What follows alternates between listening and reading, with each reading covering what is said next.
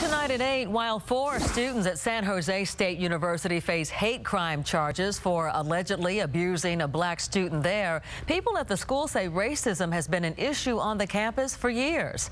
KRON 4's Alicia Reed tells us about a report completed two years ago and what's been done since.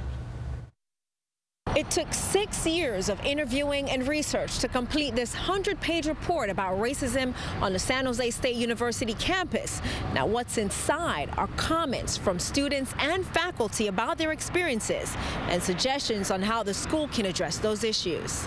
Uh, having a zero tolerance policy for any um, anything that symbolizes an, symbolizes an attack on any ethnic group, um, gender group, or you know sexuality, things like that. This is bigger than just a black issue. Word that a black student was being terrorized for three months and him finally reporting it to authorities last week sparked protest on campus. They wrote um, the word, uh, the N word on a uh, on a dry erase board. Um, also, um, swastikas everywhere. Um, put the bike lock around his neck. He he he fought them off um, the first time and sustained bruising, uh, but the second time, I guess they finally were able to um, get it get it around him. They locked him inside of his dorm room, and uh, they broke the lock off the door also when they did that.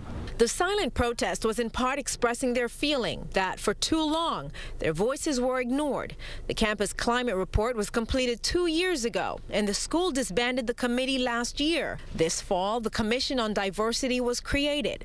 A rep says they believe it now represents more ethnic groups across the board. That committee has already met once and will meet again next month. Now, a rep from the school tells us there are numerous ongoing efforts to address the issues at hand. We're told there are also two task forces targeting African American and Latino student success. Reporting in San Jose, Alicia Reed, KRON 4 News.